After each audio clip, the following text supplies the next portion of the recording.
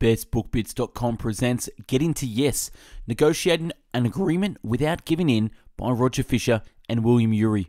Published back in 1981 and weighing in at 224 pages. Since its original publication nearly 30 years ago, Getting to Yes has helped millions of people learn a better way to negotiate. One of the primary business texts of the modern era, it is based on the work of the Harvard Negotiation Project, a group that deals with all levels of negotiation and conflict resolution. Getting to Yes offers a proven step by step strategy for coming to mutually acceptable agreements in every sort of conflict.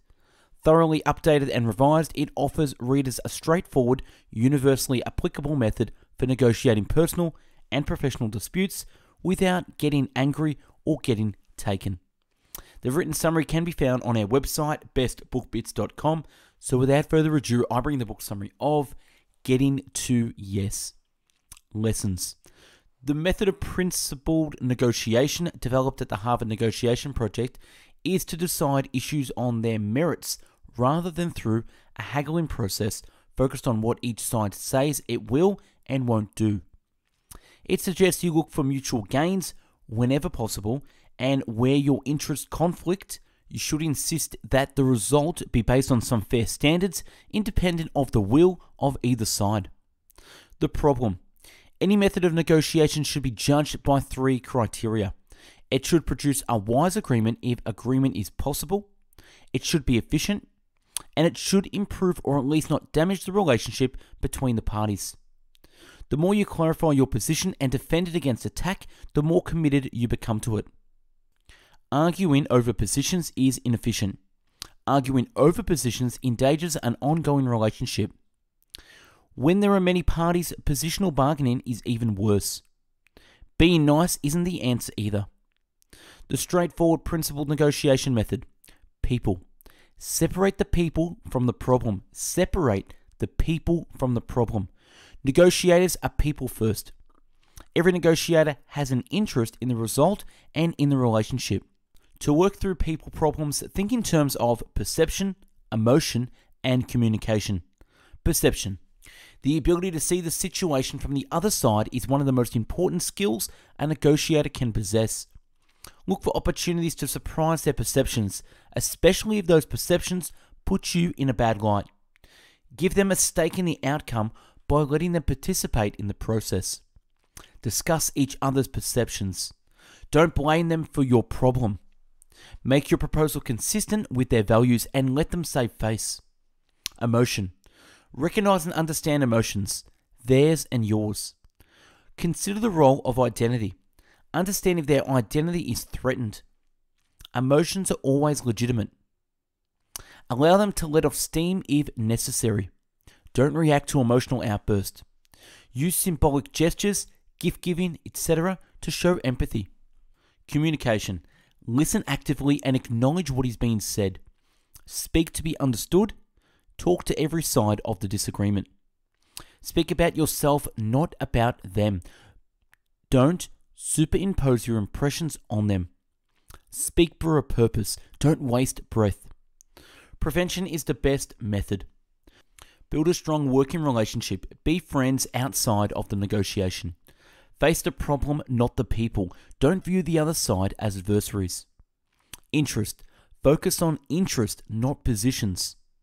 For a wise solution, reconcile interest, not positions.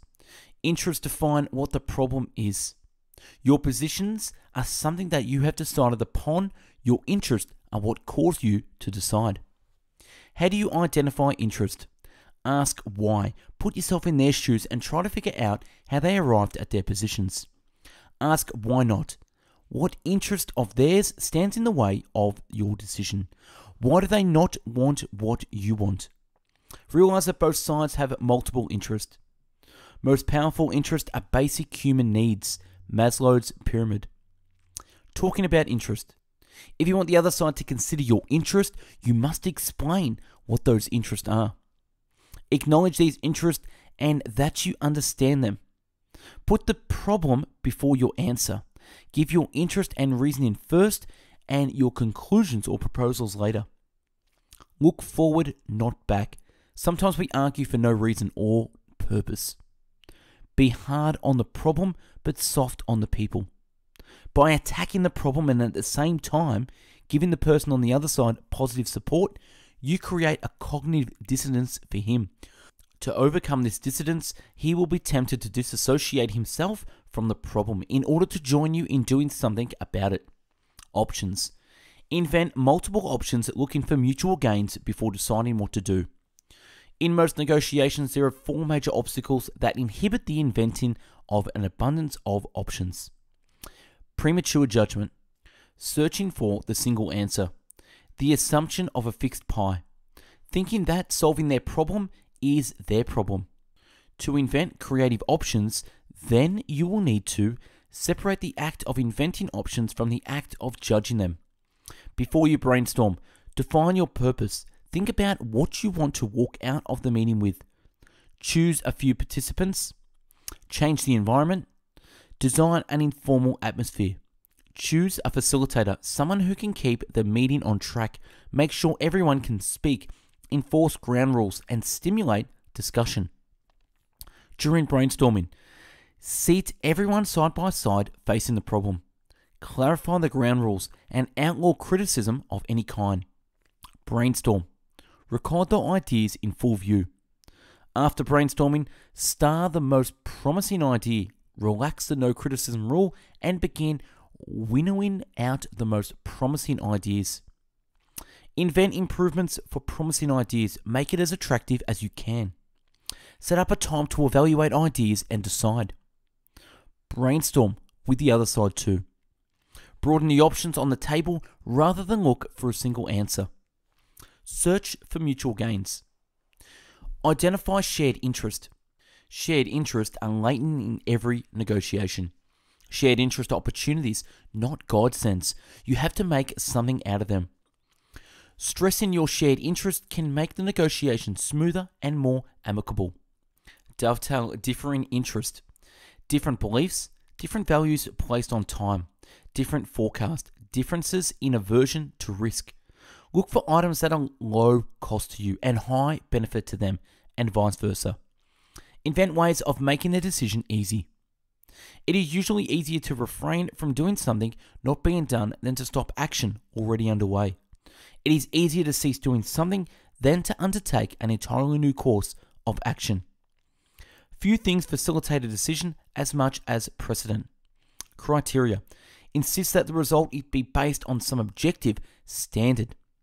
Deciding on the basis of will is costly. Use objective criteria instead. Principled negotiation produces wise agreements amicably and effectively. Developing objective criteria. Develop fair standards for evaluation. Use fair procedures for resolving the conflicting issues. Negotiating with objective criteria frame each issue as a search for objective criteria. Ask for the theory behind positions. Ask for the theory behind positions. How did you arrive at that price? Agree on principles first. Reason and be open to reasons as to which standards are most appropriate and how they should be applied. Never yield to pressure, only to principle. Never yield to pressure, only to principle. Best alternative to a negotiated agreement. The cost of using a bottom line. It keeps you from being more inventive with solutions. It can sometimes prevent you from making an advantageous decision.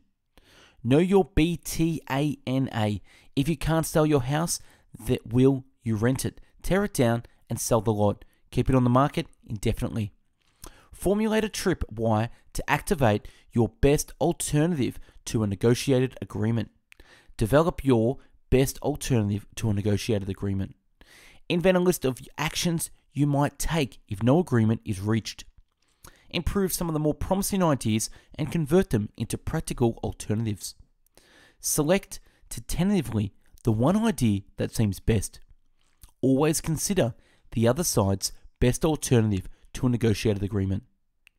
Negotiation Jiu Jitsu for when they won't play. How do you prevent the cycle of action and reaction? Don't push back.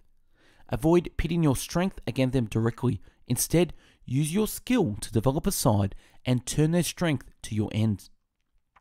Do not attack their position. Look behind it. Assume every position is a genuine attempt to address the basic concerns of both sides. Seek out and discuss the principles underlying their position. Discuss what would happen if one of their positions were accepted. Sometimes framing it in this way can show its weakness. Don't defend your ideas, invent criticism and advice. Ask them what's wrong with your idea. Ask them for their advice or what they would do in your situation. Recast an attack on you as an attack on the problem. If they attack you personally, resist the temptation to defend yourself or to attack back. Let them let off steam. Ask questions and pause. Use questions instead of statements. What if they use dirty tricks? Deliberate deception, phony facts, make the negotiation process independent of trust. Verify factual assertions as you go. Ambiguous authority. Ask just how much authority they have on this matter. Dubious intentions. Pretending to be in support of one thing to convince you of another. Psychological warfare. Stressful situations. If you find the situation prejudicial, say so and try to change it. Personal attacks. If you're being personally attacked, bring it up explicitly. Good guy, bad guy routine. Threats. Good negotiators do not resort to threats. Warnings are much more legitimate so long as they are backed by the reality of the situation. Positional pressure tactics. Refusal to negotiate. Recognize this as a possible ploy to get some concession from you. Talk about their refusal to negotiate, why they do not want to. Insist on using principles. Extreme demands. Ask for principle justification of this, that stance to show them how ridiculous it is. Escalating demands. Call it to their attention and stop negotiations for a bit. Insist on principles to make it more serious. Lock in tactic. One side entirely locks in their position. Ignore the lock in, talk about the principles, and let them back down and save face. Take it or leave it. Ignore it and then draw attention to it as a problem. And last, don't be a victim. That's a wrap on Getting to Yes by Roger Fisher and William Ury.